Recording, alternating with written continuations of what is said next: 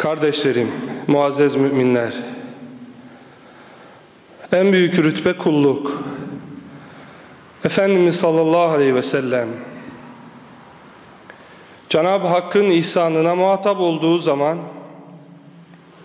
neyle seni teşrif edeyim sualine muhatap olduklarında kulluğu niyaz ettiler. Kul olarak anılmayı istedi aleyhissalatu vesselam. Kendilerine bir musibet, bir sıkıntı geldiklerinde اِذَا أَصَابَهُ اَمْرٌ اِذَا حَزَبَهُ اَمْرٌ قَامَ صَلَّى قَامَ فَصَلَّى Kalkıp namaz kıldı. Musibet geldi, bela geldi, sıkıntı geldi, kalktı Rabbine iltica etti. Zevki, saadeti, huzuru kıyamda, secdede aradı aleyhissalatu vesselam.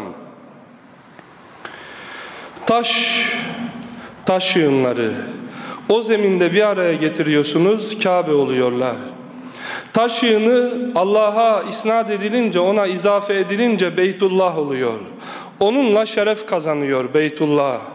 Kul da Abdullah oluyor. Allah'a nispet edince şeref kazanıyor. En büyük payeye, en büyük makama ulaşıyor. Seleften iki kişi karşılıklı konuşuyorlar. Birisi diğerine adıyla hitap ediyor. Babası ona bir isim vermiş. O da dönüyor arkadaşına diyor ki La ted'uni illa biya abdallah fe innehu eşrafu esmai Beni çağırırken falan isimle filan isimle değil Beni çağırırken bundan sonra Abdullah diye nida et. Çünkü isimlerin en şereflisi, isimlerimin en alisi o. Allah'a beni nispet ediyor, beni ona izafe ediyor. Bana onu hatırlatıyor, secdeyi, kıyamı, rükuyu hatırlatıyor bana. Birisine soruyorlar seleften. Diyorlar ki sen hangi kabiledensin? Kayıstan mısın falan kabileden misin? Diyor ki Ebi el-İslam La ebeli sivahu Babamı soruyorsanız bunun için benden kabilemi hangi kabileme ait olduğumu sual ediyorsanız söyleyeyim. Babam İslam. İslam'dan başka aidiyet kabul etmiyorum. Bütün varlığımla, bütün hücrelerimle Allah'a, onun yoluna, onun Hazreti Muhammed Aleyhisselam'la gönderdiği dine iktida ettim ben. Peygamber Aleyhisselatu Vesselam'ın mescidinde Ashab-ı kiram efendilerimizin meclisleri var. Sa'd bin Ebi Vakkas'ın da meclisi var. Soruyor önüne gelene men ebuke diyor senin baban kim? Asıl İranlı Selman-ı Farisi'ye soracak. Babasının Medine'de malum olmamasıyla, bilinmemesiyle belki onu tenkit edecek, belki tahkir edecek. Hazreti Ömer Efendimiz de aynı mecliste. Soruyor Selman'a. Peki Selman diyor, men abuke, senin baban kim? İnsanlar şu kadar yukarıya doğru çıkıyorlar. Babalarının isimlerini, atalarını onları tadat ediyorlar. Peki ya senin baban kim söyler misin? Kimse bilmiyor, kimse tanımıyor. Selman'ın başı öne düşüyor. Sonra imanla o baş doğruluyor. Dönüyor Saad bin Ebi Vakkas'a diyor ki Selman bin İslam, İslam'ın çocuğu Selman. Hazreti Ömer Efendimiz bu ifadeyi duyunca döner Saad bin Ebi Vakkas'a der ki Kâne ebi azizen benim babam cahiliyede senin babandan daha ali, daha aziz bir adamdı. Ama bil ki bundan sonra ben Hattab'ın oğlu Ömer değil, İslam'ın çocuğu, senin tahkir ettiğin Selman'ın kardeşi Ömer'im bundan sonra beni öyle anacaksınız, öyle yad edeceksiniz. İslam onları Allah'a nispet etti. Efendimiz Aleyhisselatü Vesselam da onları kardeş yaptılar. Ve kûnû ibadallahi ihvana kardeş olun. Rengine, ırkına, soyuna bakmadan açın kucağınızı onlarla kucaklaşın. Muhacir Mekke'de İslam'ı yaşıyor fakat bütün yolları, bütün kapıları kapattılar. Mekke'de Allah demek yasak. Onlar da Allah'ın dinini yaşayabilmek için yerlerini, yurtlarını terk ediyorlar. Medine'ye geliyorlar. Tanımadıkları, bilmedikleri soy, sop itibariyle aralarında bir yakınlık olmayan insanların şehrine gidiyorlar. Ceplerinde kredi kartları vesaireleri de yok yani. Bilmedikleri bir diyara gidiyorlar. Allah emretti diye. Hz. Muhammed Aleyhisselatu Vesselam gitti diye gidiyorlar. Medine'ye onlar ilerlerken Medineliler. Onlar da tanımıyorlar ama yollara çıktılar. Veda tepelerinde onları istikbal edecekler. Çünkü Allah onları kardeş yapmış. Medine'de Abdullah, Mekke'de Abdullah. Medine'de kendini ona isnat ediyor, Medine'de kendini ona isnat ediyor. Biri ensar, biri muhacir. Karşılıyorlar. Bir yerde oturuyorlar. Evs bu tarafta, Hazreç bu tarafta. Evs diyor ki biz evimize götürelim. Hazreç olmaz biz götürelim. Muhacir var. Evlerine götürecekler. Fakat tanımadıkları kardeşlerini evlerine götürme hususunda paylaşamıyorlar. Sonra aralarında kura çekiyorlar. Kura ile alıp evlerine götürüyorlar. Kardeşlerim, bu toplumu Hz. Muhammed Aleyhisselam kurdu. Kur'an'la onların ruhlarını mayaladı. Yeryüzünün en büyük insanlarını çıkardı. Ebu Bekir'i, Ömer'i, Osman'ı radıyallahu anhum. Ondan sonra gelenler de insanların ırkına, rengine, soyuna değil, imanlarına baktılar. Hazreti Ömer Efendimiz devlet başkanı, Ebu Sufyan geliyor, Süheyl bin Amr geliyor, kapıda bekliyorlar. Bilal bin Rebah, Süheyb-i Rumi geliyor. Hazreti Ömer Efendimiz'e Bilal bin Rebah'ın geldiği haber verilince açın kapıyı içeriye alın diyor. Ya Mevlana diye onu istikbal ediyor. Efendimiz Bilal diyor. Bir zamanlar köle, süründürülen Bilal o devlet başkanı tarafından Efendimiz Bilal diye karşılanıyor. Mekke'nin eski devlet başkanı Ebu Sufyan kapıda bekliyor. Diyor ki: "Lem arakel yevmi kattu." Bugünkü gibi kara bir gün hayatımda görmedim. Beni burada bekletiyor. Bilal'i, Süheyb-i Rumi'yi, köleleri içeriye alıyor. Sistem değişti. Çünkü Allah bundan sonra onların ırkına, rengine, soyuna bakmayacak. Onun adam yerine koymadığı Bilal bin Rabah için, onun gibi olanlar için Kur'an-ı Hakim وَالسَّابِقُونَ الْاَوَّلُونَ مِنَ الْمُهَاجِرِينَ وَالْاَنْصَارِ ayet öyle buyuruyor. Sabikun'den Bilal, Bedir ashabından Bilal, Uhud ashabından Bilal. Allah onu ubudiyetle yükseltmiş, namazla yükseltmiş. Ona bir kıymet, ona bir kamet vermiş ki Ebu Sufyan'ın onun kıymetine ulaşması asla mümkün değil. Şimdi hayatımızda problemler var. Öğretmende problem var, öğrencide problem var, ustada problem var, çalışanda problem var, imamda problem var, evde, babada, çocukta, hayatta problem var. Her eğitim sistemi, eğitim sezonu başladığında yani sorunlar dile getirilir sonra denir ki işte batıda falan ülkede şöyle diye. Onu örnek alabilir miyiz acaba? Onları model alarak ne kadar terakki edebiliriz, ilerleyebiliriz? Bunun planı programı yapılır. Kardeşlerim, örnek aldığınız batı okullarında esarkeşler yetiştiriyor.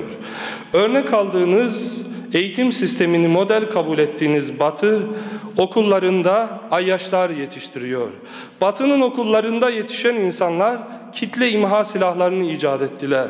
Onlar dünyaya ölüm kusuyorlar şimdi. Hala onlara mı gidecekler?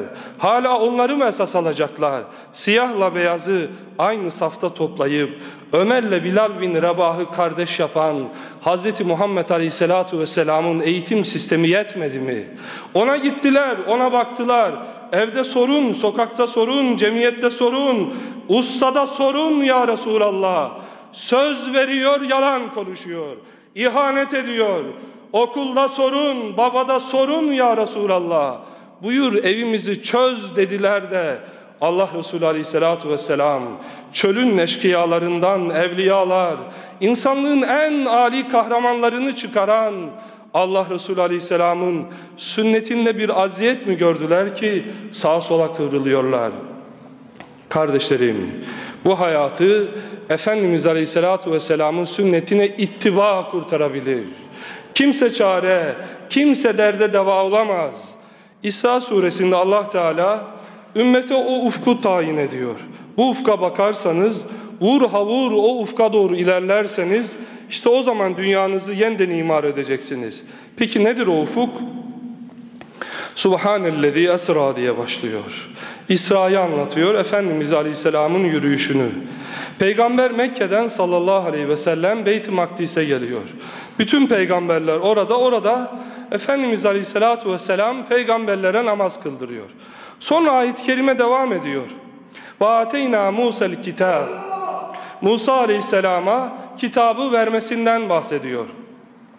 وَجَعَلْنَاهُ هُدًى لِبَنِي إِسْرَائِيلَ أَلَّا تَتَّخِذُوا مِنْ دُونِي وَكِيلًا Yani benden başka barınak, sığınak, tutanak olmasın, tanımayın diye Allah Teala Beni İsrail'e kitabı veriyor, Tevrat'ı veriyor.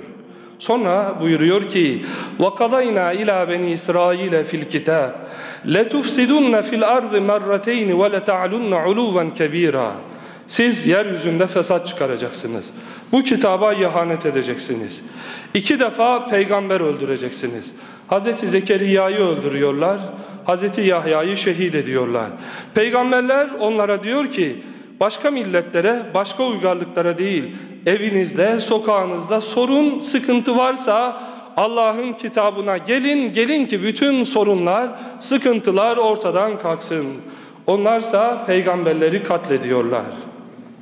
Cenab-ı Hak onlara eğer tekrar dönerseniz, tövbe ederseniz Kudüs'e gelirsiniz. Tövbe ediyorlar, Kudüs'e geliyorlar. Sonra ikinci defa isyan ediyorlar. Hazreti Yahya'yı şehit ediyorlar. Tekrar sürgün, tekrar acı, tekrar ceza. Tövbe ediyorlar, tekrar Kudüs'e dönüyorlar. Asa rabbukum en yerhamakum ve in uddum udna ve cealna cehenneme lil kafirin hasira. Eğer tövbe ederlerse yeniden dönerler, yeniden kurtulurlar. Kudüs onların olur. Surenin başında Efendimiz Aleyhisselam'ın Kudüs rihlesini, Kudüs seyahatini, Kudüs'te bütün peygamberleri imam olmasını anlatıyordu bize Kur'an-ı Hakim.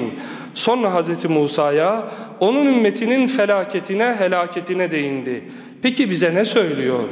İnne hadal Kur'an yehdi lilletihi akvam. Devamında buyuruyor ki sizin de ufkunuz Hz. Musa'nın ufku gibi. Onun kitabına ihanet etti Yahudiler, dünyada süründüler. Bir felaketten diğerine gittiler. Birinden diğerine savruldular. Eğer sizler Allah Resulü Aleyhisselam'ın sünnetini ihanet ederseniz kaderiniz Hz. Musa'nın ümmeti gibi olacak. Bir buçuk asırdır Allah Resulü Aleyhisselam'ın sünnetine sadakat gösteremeyen, evine, sokağına, devletine, cemiyete peygamberi karıştırmayan ümmetin bir felaketten diğerine sürüklendiğini görüyorsunuz. Dolayısıyla Beni İsrail Kudüs'e nasıl tövbe ederek, Tevrat'a yapışarak döndüyse bu ümmet yeniden Osmanlı'nın bıraktığı izzete, Allah Resulü Aleyhisselam'ın ufkuna, Kur'an-ı Hakim'in imametinde dönecek. Hz. Muhammed Aleyhisselatu Vesselam'ın ufkunda dönecek. Sizden öncekiler kardeşlerim, sizden daha güçlü değillerdi. Sayıları da bizden daha fazla değil. Ama onlar Allah Resulü Aleyhisselam'a bütün varlıklarıyla iktida ettiler. Kardeş oldular, kardeş tanıdılar, ırkına, soyuna, rengine bakmadılar. La ilahe illallah diyene kucağını evine açtılar. Sonra en büyük şerefi, en büyük rütbeyi Abdullah olmakta, Allah'a kul olmakta aradılar. Ernest Renan adında bir oryantalist diyor ki, bir küsur asır önce hayret ediyorum şu Müslümanlara. Pakistanlıya soruyorum kimsin? Ben Müslümanım diyor. Türkiye soruyorum, o da ben Müslümanım. Kürde, Araba soruyorum, ben de Müslümanım diyor. Ne zaman onlara siz soruları, ırklarına, milletlerine dair soruları yönelttiğinizde, siz kimsiniz eğer onlar biz Pakistanlı, biz Türk, biz Kürt derler ve kendi nesepleriyle iftihar ederse işte o zaman bu ümmeti ayaklar altına alacaksınız. Bu ümmet biz Müslümanız demeyi terk ettikten sonra kendi ırklarını, kendi milliyetlerini öne çıkardıktan sonra bir asırdır yeryüzünde sürünüyorlar. Suriye zindanlarından iniltiler geliyor. Arakan'da anneler canımızı al bu manzaraları görmeyelim ya Rabbi diye dua ediyorlar. O manzaraların bitişi yeniden bu milletin rengine, ırkına, soyuna bakmadan şerefi Allah'a kul olmada aramada ve hepsi bütünüyle vaatasimu bihablillah Allah Azze ve Celle'nin ipine sarılarak biz Müslümanız dedikleri gün kurtulacaklar. Biz Kürdüz, biz Türküz, Arabız diye bölünenler biz Müslümanız dedikleri zaman Allah Resulü Aleyhisselam'ın hakiki manada ümmeti olacaklar.